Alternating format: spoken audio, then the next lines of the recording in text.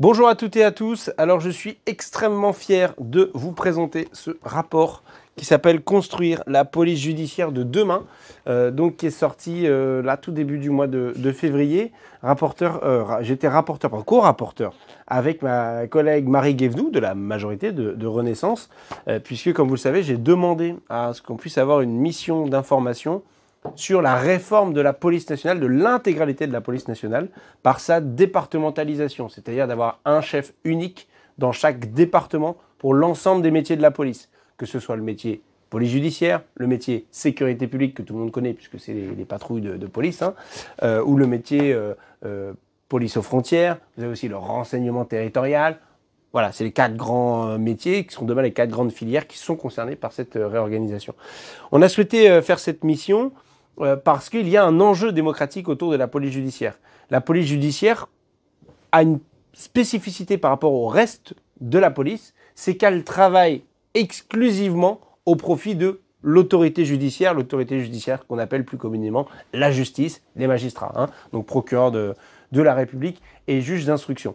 Or, euh, aujourd'hui, la police judiciaire a deux spécificités. Un, c'est que le pour ce qui est du haut du spectre, c'est-à-dire les plus grands criminels, euh, la criminalité organisée, etc., euh, c'est l'apanage de la direction centrale de la police judiciaire qui a son fonctionnement propre, son organisation propre et son organisation territoriale spécifique, avec plus d'une quarantaine d'antennes de la police judiciaire et qui n'est pas sur ni l'échelle départementale ni l'échelle régionale. Ils sont sur des bassins euh, de criminalité, peuvent bouger. Enfin voilà, c'est, en fait c'est la résultante des fameuses brigades du Tigre de Clémenceau, dont le, le leitmotiv était justement la euh, plus grande mobilité possible pour euh, être aussi mobile que les criminels qu'ils sont censés pouvoir interpeller et confronter à la justice.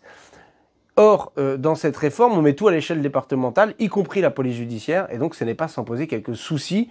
Premièrement, euh, bah, de garantir les moyens euh, de la lutte contre la criminalité organisée, parce que quand vous êtes dans un, ensemble plus général et que vous mutualisez, bah, vous ne savez pas si dans 3 ans, 4 ans, 5 ans, 10 ans, vous aurez toujours les mêmes moyens. Or, les moyens aujourd'hui qui sont pour la lutte contre la criminalité organisée sont trop peu nombreux, trop faibles.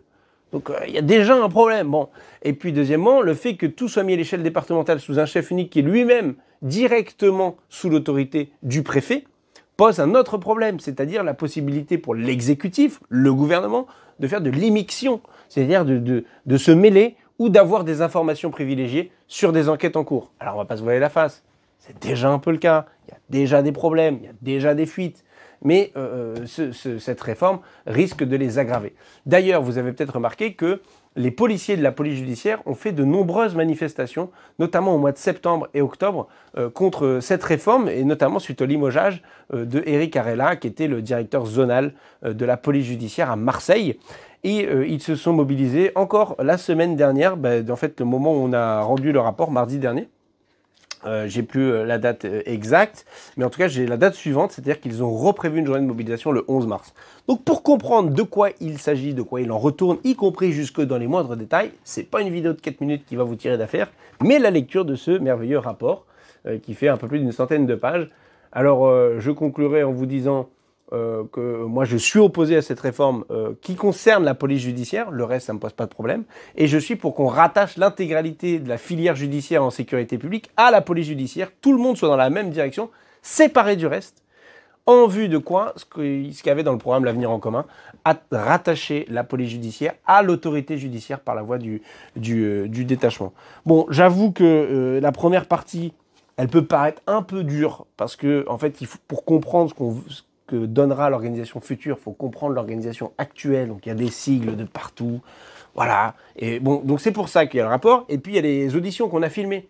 Euh, cette vidéo euh, étant chargée d'introduire euh, toutes ces auditions, vous pourrez retrouver sur ma, chaîne YouTube et vous pouvez passer un peu de temps là-dessus si ça vous intéresse. En tout cas, voilà, je suis, je suis très content d'avoir mené ce travail parce qu'à la fin, quand Hugo sera à Beauvau, on saura quoi faire.